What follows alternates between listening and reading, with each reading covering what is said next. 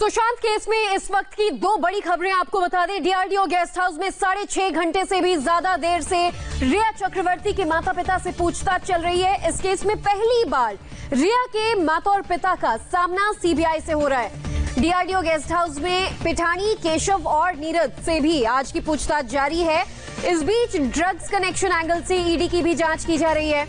इस वक्त ED office में गौरव आर्या से पूछताछ चल रही है। आज लगातार दूसरे दिन गौरव आर्या से ईडी ड्रग कनेक्शन को लेकर सवाल जवाब कर रही है। वक्त एक छोटे से ब्रेक का है, लेकिन उससे पहले आपको बता दें कि आज इंडिया टीवी पर सुशांत मिस्ट्री से जुड़ी दो सुपर एक्सक्लूसिव इंटरव्यू देखना ना भूले।